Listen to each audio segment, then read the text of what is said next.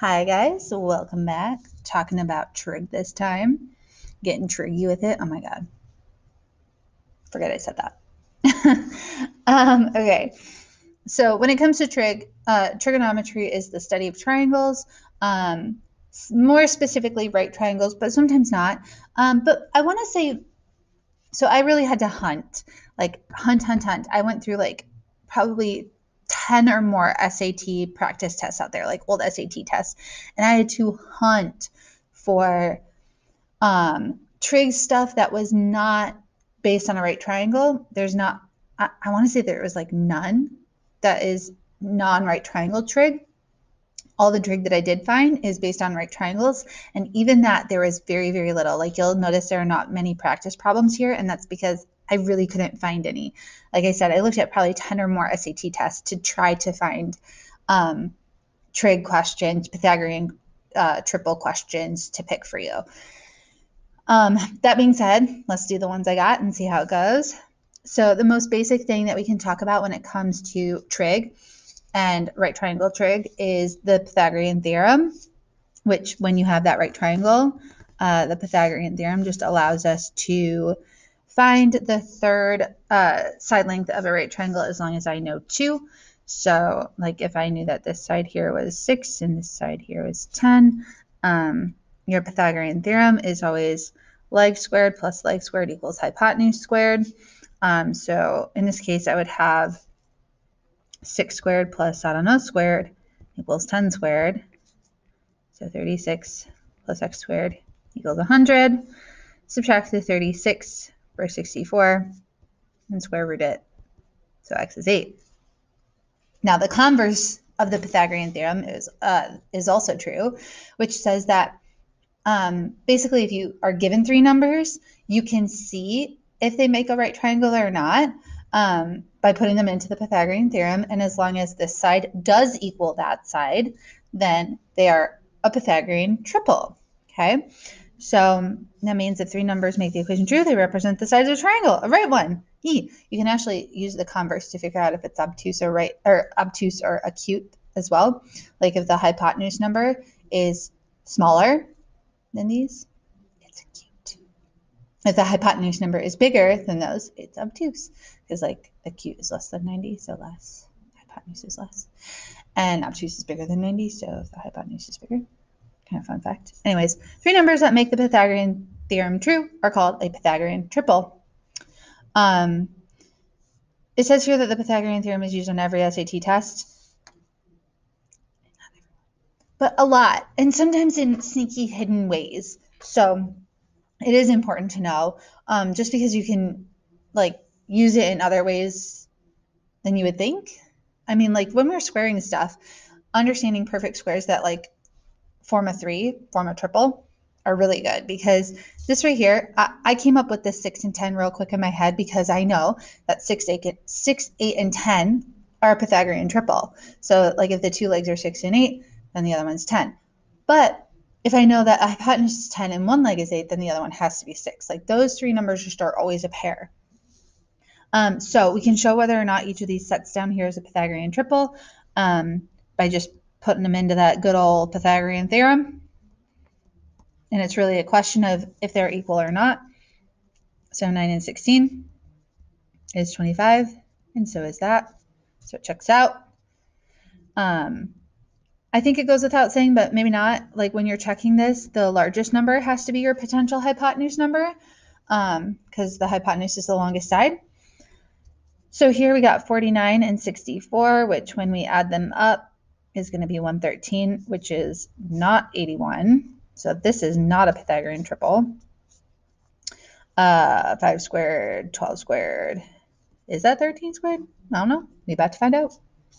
So 25 plus 144 is 169. And that is also ooh, 13 squared, so 169. Ooh, if you know anything about me, you know that I do not like decimals. But um, kind of the funny thing is, I don't see those as decimals. I see 6, 8, and 10. And I already told you that 6, 8, and 10 was a Pythagorean triple. So, like, I already know this is, but Um, we could do 6 squared plus 0.8 squared. Does it equal 1 squared? Well, 6 squared or 0.6 squared is going to be 0.36. 0.8 squared is going to be 0.64. And when I add those up, that's 1, and 1 squared is 1. That's actually a really good thing because this big note about Pythagorean triples is a thing. Um, okay, anyways, let's try this one. So 8 squared plus 15 squared, is that 17 squared? I don't know. 64 plus 225. Let's see, 9, 8, 2. Hey, that's 17 squared. Um, also, I'm not using a calculator while doing this. Like, I do have a lot of perfect squares just like in my noggin, and that's a good thing to have too. 17 is pretty high, but 17 shows up a lot, and it's one of these Pythagorean triple numbers. So knowing that 17 squared is 289 is a good one to know.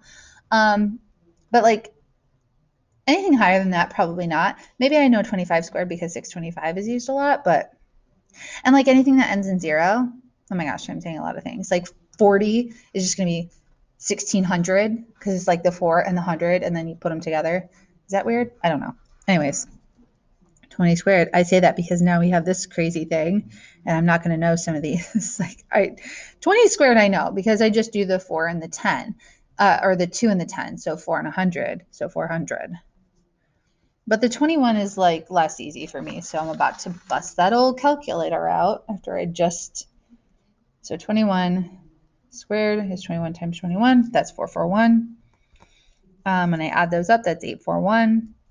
And I do not know 29 squared. I was pretty sure that 21 squared was 441, but I didn't want to be wrong. Um, but 29 squared, I sure do not know. So 29 times 21. 841, Pythagorean triple. I kind of knew those were a Pythagorean triple. I was a little unsure. Um, but again, that's where it's like the more you know, the more you have it memorized, the, le- the less time you have to spend going into your calculator, and any time saved is good. So, this big note about Pythagorean triples once you have some, so like the three, the four, the five was a pair, um, the five, the 12, the 13 was a pair. Um, oh, most of these were, they all were except for that one. Um, but any multiple of the triples are also a pair. So what I mean by that, and I guess multiple is maybe the wrong word to use, but like you can scale them up and scale them down all by the same thing. So like I was doing here. So I know that 6, 8, and 10 are a Pythagorean triple. If you divide each of those by 10, then you get the 0.6, 0.8, and 1. So that's also a Pythagorean triple because I scaled them all down by 10. So like, for instance, if I took this 3, 4, 5 and scaled it all up by 2, um, 6, 8, ah, 6, 8, 10. Oh, oh, that's why. Oh my God, I'm dumb. Sorry. Um, or I could scale them all up by um, 9. That's fun. So 27 36, and 45 is a Pythagorean triple that I really wouldn't have to find out, or really wouldn't want to have to find on my own because they are such big numbers. But because they're all just multiples of that 3, 4, 5, I know that they are because 3, 4, 5 is a Pythagorean triple. So yeah, you can scale them up, scale them down. That's super fun. That's my spiel about Pythagoras. He's so great, although he's kind of not. He stole a lot of his theorems from his students it would be like me stealing from you guys. It's terrible. You shouldn't do it. Anyways, sine, cosine, and tangent, the real tricky factors. Okay, the real tricky stuff. Um, oh my gosh, if I could just show all you little babies how trig comes about, it's so interesting. I actually hated trig so much when I was in high school, but once I understood what it was, I was like, dang, that's cool. Because it's really just about similarity, like I was just talking about with the Pythagorean triples um, and writing ratios of sides. So Let's talk about it. Sine, cosine, and tangent are three basic trig functions. There are other trig functions. They're reciprocal functions, but they're in the SAT much less, if at all. Um, uh, this says trig ratios. That's also correct. Function, ratio. They are on every SAT test. Again, maybe there's one question, but I found a couple of SAT tests with none on there. So you might get lucky. But it's still important to know them. Because there's at least one or two. So trig ratios are defined in right triangles mostly. You can use them for non-right triangles, but I said those were few, few, few, few and far between on the SAT.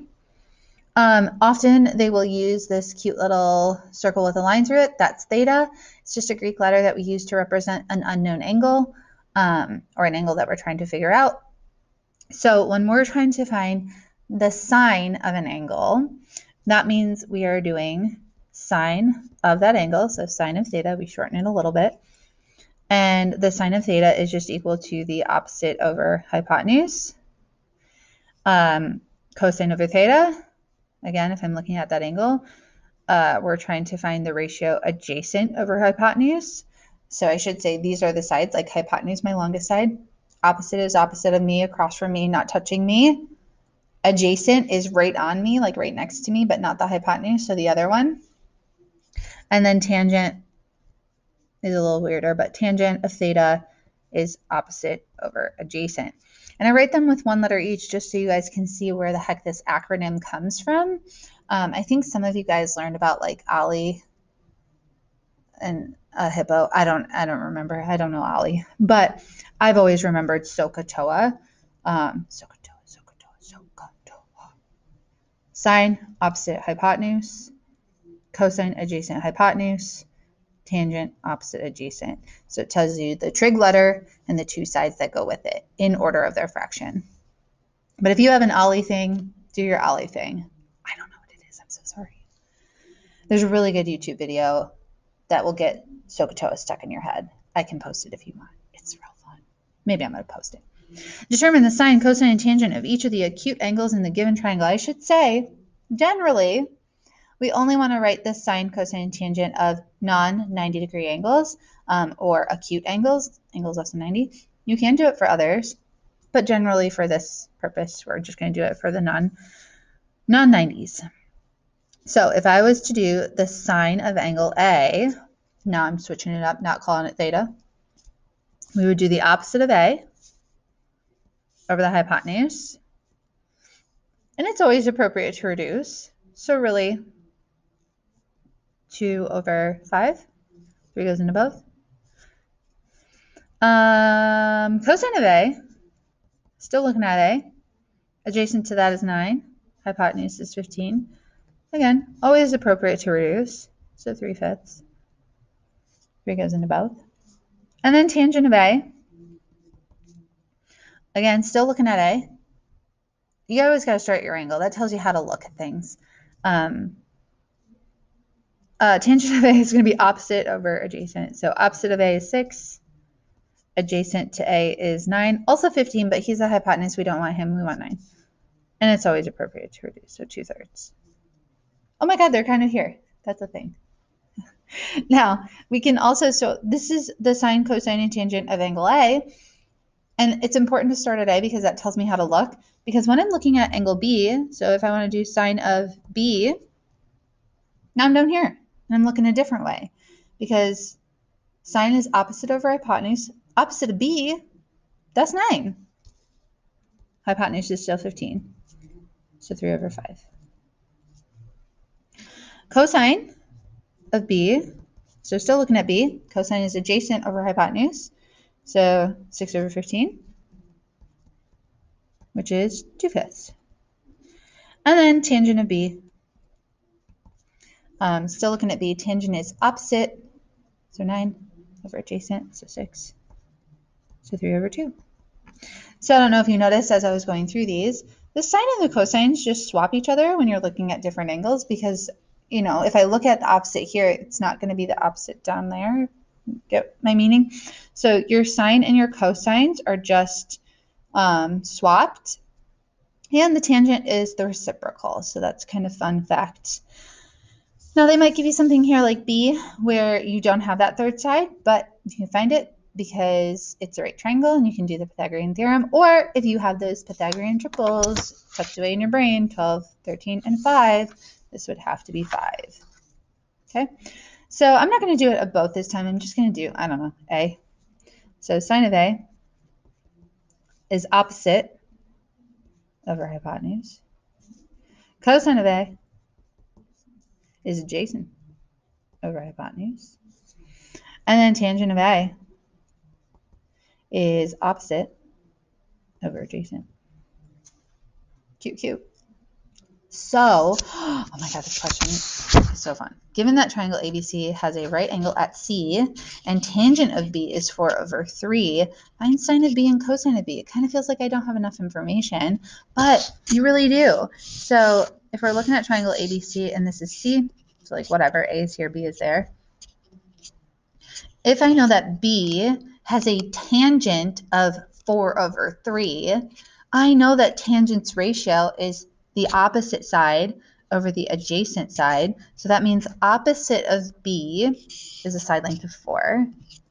And adjacent to B and not the hypotenuse is 3. Feels like I still don't have enough? You got Pythagorean theorem that you can always use. And if you know those triples, you know that 3, 4, and 5 are a pair. So now I know the hypotenuse, which is what I needed to be able to find sine of B and cosine of B. So sine of B is opposite of B, which is 4, over the hypotenuse, which I found is 5. Oh my god, I love this problem. And then cosine of B is adjacent to B over hypotenuse. And there you go. oh my god, I missed this. Now the thing is, if you um, are maybe asked to find uh, trig values, some of them are really nice trig values, but some of them are not so nice. So for the most part, um, trig values are not so nice. So using our calculator, we're going to have to evaluate some of these values. And guys, you do have it on an iPhone. I mean, you're hopefully going to have a TI-84 for this, but I do not have one with me right now. Um, but my iPhone will do it as long as I turn this guy sideways, which he doesn't want to do right now. It's because I'm not unlocked. There we go. Okay. Come on. There we go. Okay. So, sorry about the glare, but on your iPhone, and guys, Androids will do this too. And if you need to know how to do it on your Android, please let me know. I can let you know how to do it. Evaluate the following trig functions. So if I want to know the cosine of 40, um, I actually need to type that in backwards. So I do 40 and then hit the cosine button and it'll tell me for the most part, they are going to be really gross decimals. So I'm just going to kind of put 0.766 here. Um, if you are trying this with me and you don't get that, what might be happening is that this button down here uh, doesn't say rad, it says deg, and you don't want that. Um, because if you have that up there, it's going to put it in radians, I'm pretty sure. Let me double check now that I'm saying this. Yeah, yeah, yeah. You don't want that. So if you get that negative number, you want to click this button down here and put it in degrees because we're typing degrees in, not radians. That's a different thing. Okay, next we want to do 20 cosine 0.9396. I don't know. I hate not rounding. Okay, then there we go. Okay. um, 60 cosine. Hmm, that's one of those nice ones. 0.5. And then cosine of 3s, we'll do 3 cosine 0.996. Okay. Now let's do the sine. So 50 sine. Oh. Oh, shoot. I'm looking right at it, writing it wrong. 70 sine. Hmm. Looking for a little pattern. I'm always looking for patterns. Math is all about patterns. 30 sine. Oh, that's another one of those nice ones. Hmm. 87 sine.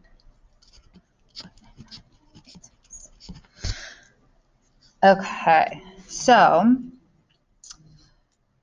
I don't know if y'all are noticing or not, but these answers are the same.